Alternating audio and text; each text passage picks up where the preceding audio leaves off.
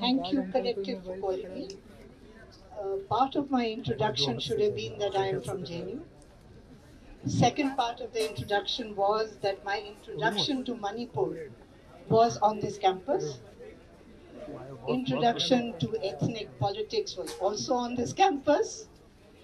Um, and I would like to straight away say that I understand absolutely from where you're coming, and I have no disagreement with the. In fact, what I want to say is to build upon your arguments, if I may. Um, so let me try and build it in three parts. One part is a bit biographical, but maybe you will understand uh, from where the ethnic politics comes and the problems with it, and not the problems of why it needed to be done or not done. Um, and since I have spent uh, many years, including that book which is called Kuknalim, which is on Naga National Movement, uh, is that why did I spend so many years uh, defending a uh, ethnic, well today it's an ethnic movement, a religious movement in fact, and what have I learned from it? I will come to that. But I want to give a little historical background because as uh, Dr. Prem said, we are a university and we want to understand these things. And this is the best place for us to understand them. So I want to uh, tell any of you who are doing research and are wondering from where this ethnic politics came, uh, I want to read out. In fact, there was a book written in 1981 called Ethnic Explosion. I began my political life, as far as Northeast is concerned, with reading that book. It was written by Nirmal Nibedon. He wrote the first books on Northeast. He wrote this ethnic explosion. After that, he wrote on the Naga movement. After that, he wrote on the Mizo movement. I think those books are available in the library. But I think he warned us about what is the problems which will happen in the Northeast. And look, uh, I want to read out just that one paragraph.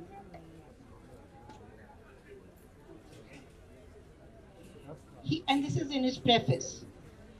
It is the ethnic explosion. Make no mistake about it. Have no doubts about it. World governments, more so India and Southeast Asian countries, will have to closely study the case of ethnic minorities, whether they are Kachins and Karens of Burma, the Mizos or the Ahoms of India. The ethnic minorities of India, particularly those of the Mongoloid stock, will deserve more attention. For gone are the days when small bands of proud tribesmen fought and defended themselves with poisonous ripped, tipped arrows. Today, in the 1980s, in the ethnic minorities are wielding sophisticated weapons, engaging national armies to combat unceasingly. In brief, in brief, they are zealously guarding their ethnic identity. It is going to be a long war for all the sides, frighteningly effective and cripplingly expensive for both. None may emerge victorious. Both may be losers. This was said in 1981.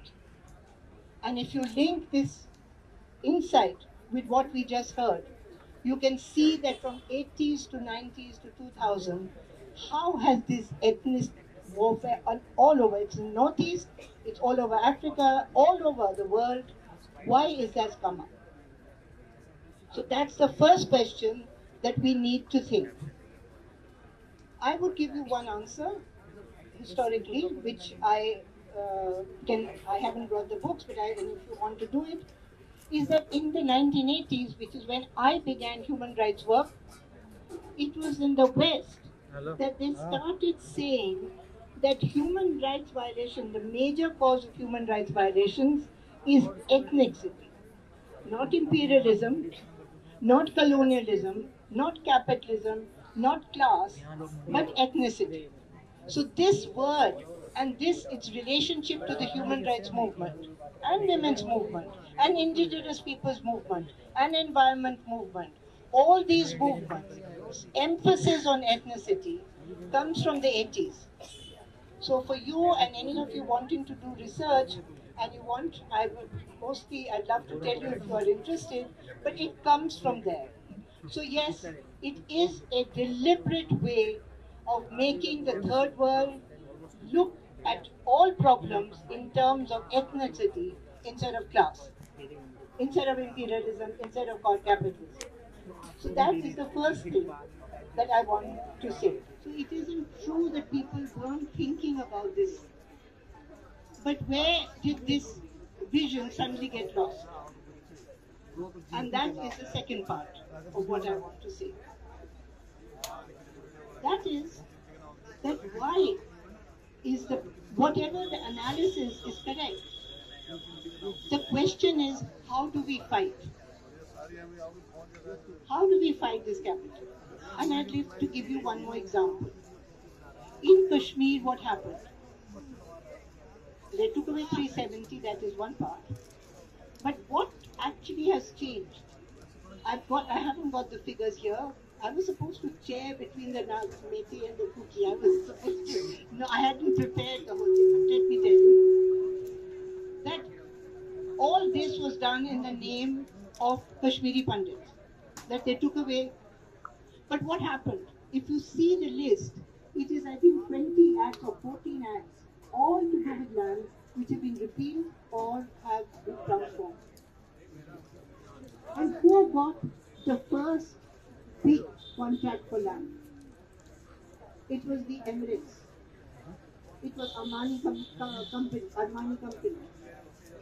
So it was neither the Kashmiri Muslims nor the Kashmiri Pandits. The huge, big first foreign contract of the corporate was from the Emirates ethnic politics made sure that nobody objected because it's a Muslim country.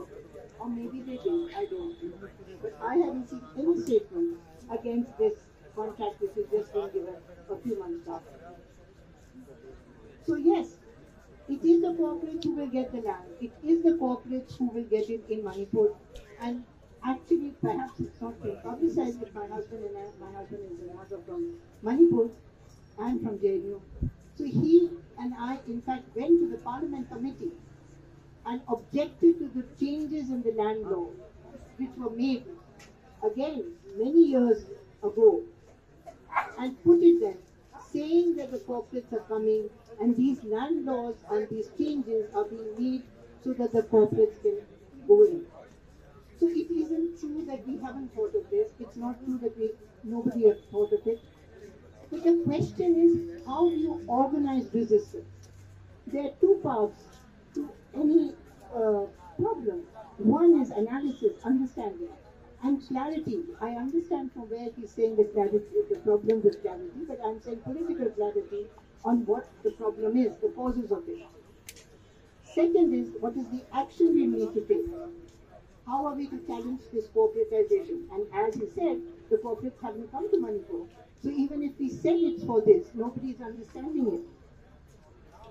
And today, there is no space within Manipur to have a conversation. I did write an article, I had an interview with, for the first time in my life, I said ethnic politics must stop. Now, it's not because I believe in it, but I said this, and a lot of people in that will see that, uh, you know, 37,000 or 35,000 people have said, but very good. But who are the people who said it? Because they agree with who I'm blaming and who I'm not on this specific concept. There's, even the people who say, yes, it's not right, are not understanding from where it's coming. So what is the way in Manipur to develop a new politics, a new understanding, new politics? How will the new alliances be made? Who will make them? And yes, everyone's demands for autonomy or, or autonomy or, or separation or sovereignty, all sometimes overlapping demands. So where is the space? There is no space. And that's a success.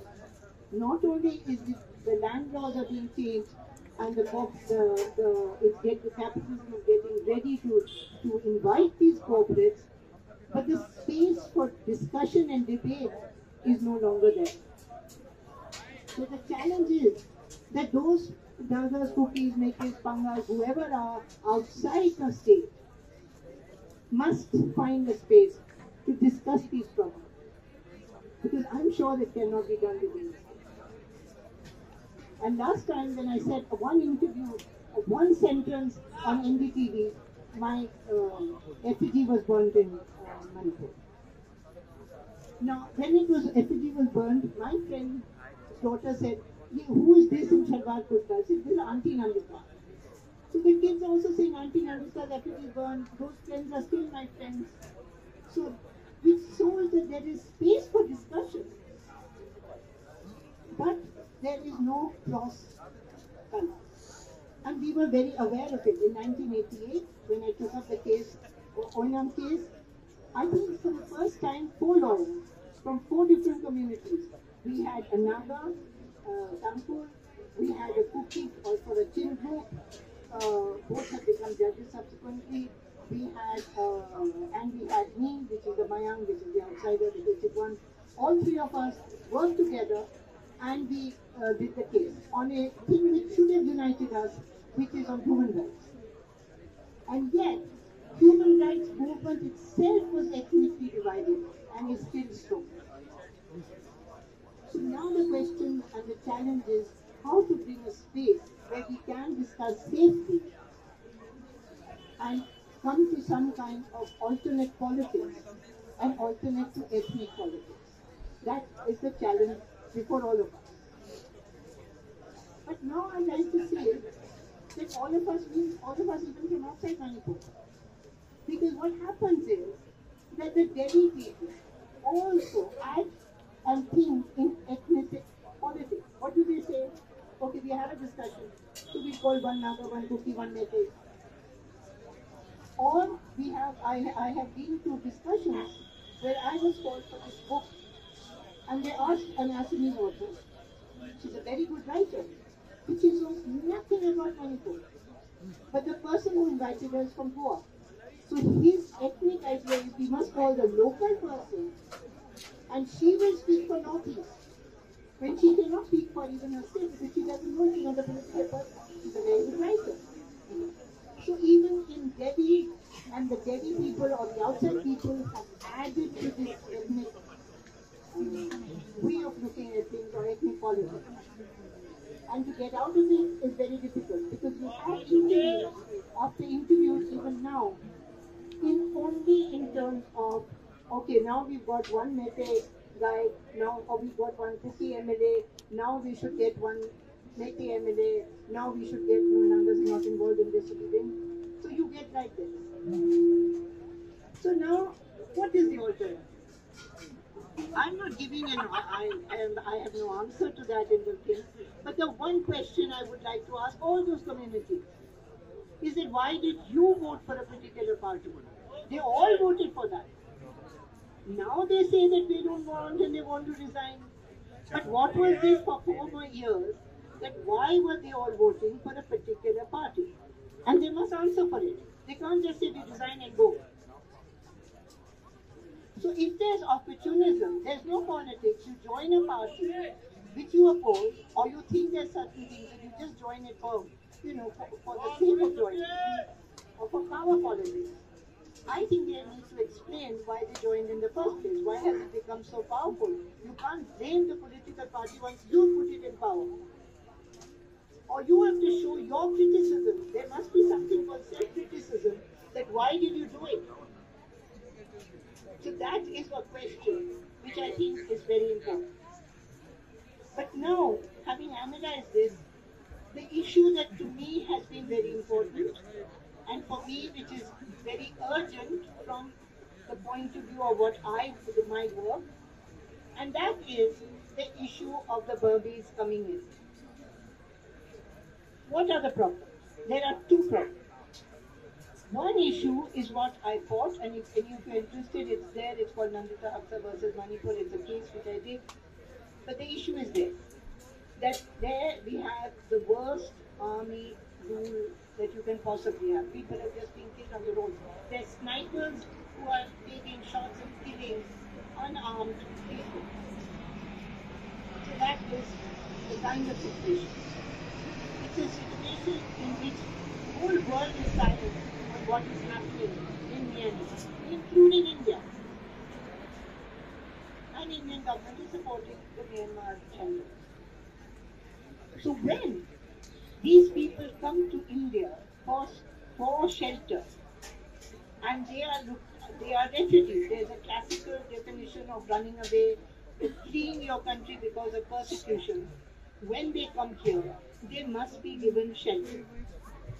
But today, the government has said there are no refugees in India. We do not recognize UNHCR, and all these are illegal migrants. Now the issue comes of illegal migrants, which is central to this at the moment, to this ethnic uh, clash and violence which has happened in Manipur. So what is the problem? The problem is that an entire country and the two districts which are next to Churachandpur are being bombed. Some of those bombs fell into our Mizoram. These are ethnically related. But it is also true that they are coming in thousands. And if the government is saying that these are only to be looked at as illegal migrants, this is the situation in which the demand for a national register for citizens has come. But no alternate demand has said. People are opposing it. So my solution, and I believe that every time we have analysis, we should also look for our own political solutions or resolutions of possible politics. I'm saying that when refugees are coming and they want refuge in our country, they should be given. They should be given humanitarian aid, but they should be given identity cards by the Manipur state itself.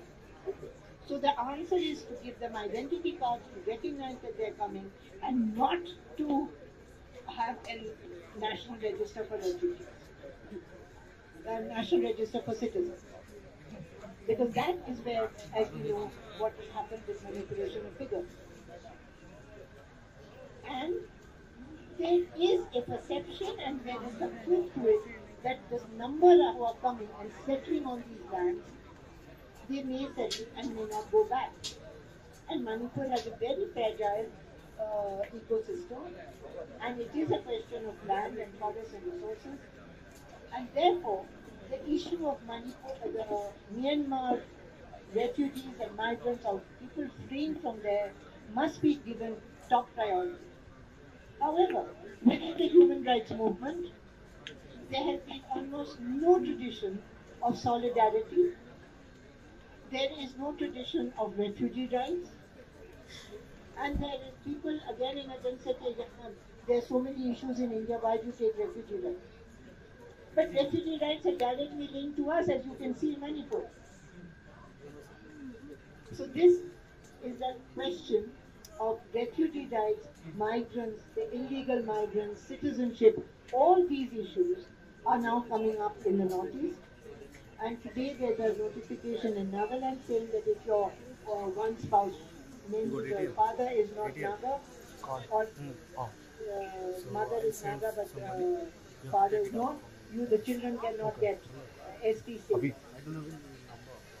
So now this whole question of reservation, this question of ST question of reservation of land, these issues are far more complicated and they're complicated for many reasons. Firstly, they're complicated by the politicians and in Manipur's case and Northeast case is because behind the demand from every community is an armed group. And this armed group, behind that armed group is a politician or a political party. To, to separate all this and to be able to have a new kind of politics, it has to be civil society, it has to be intellectuals who are not there in the middle. Who can take up these issues, who have to shout and say these. And I know that whoever does can get killed. So I know the danger. But if we care for something, we have to fight for it. Because this kind of armed groups, and each of these armed groups, who have, I don't know the count now, but there's like 20, last time I went some years ago, it was 23 armed groups in one state. And there is no political vision with any of them. So in that situation, for those of us who study, in fact, that book that Kuknalim, I'm not uh, advertising it, but I'm saying what the process by which I wrote, and that's an explanation or a confession to you that why did I do this? I came to Nagar, I came to JU. Was a little of emergency, people were arrested, people, prisoners were being released. And in the midst of this, I suddenly found people from Nagara. I'd never met a Naga in my life. All I knew about Nagas is that somewhere they're wanting independence. I was an Indian nationalist, I said down, and I said, I don't want anything to do with these guys. But I found that I was seduced by them. I was amazed at their politeness, their culture, their, their guitar, and of course the cuisine. And I fell in love with all this. But I also realized that at that point of time, the Nagas in this university were making a Naga people's movement for human rights. I didn't realize that was the beginning of the human rights movement being divided on ethnic rights. Soon after that, there was a Sikh human rights group, Mizo human rights group, Barak Valley human rights group. And that was how the human rights groups got divided. But why? Because I was in PUDR, I became subsequently secretary also. But somewhere we were not adequately taking up the rights of those people living under Armed Forces Special Powers Act. And at that point of time, the Nagas had their own human rights. But at that point of time, they made alliances with the Students' Union and JNU. Even then, it was not this poisonous kind of ethnic politics, but it was beginning. I think if the Students' Union had been more interested, put in more energy, they could have changed this kind of ethnic politics. But that's a question for the history students and for all of us to ponder over. So these are the issues that I wanted to raise, and I think it would be nice if we have questions and a discussion. Thank you.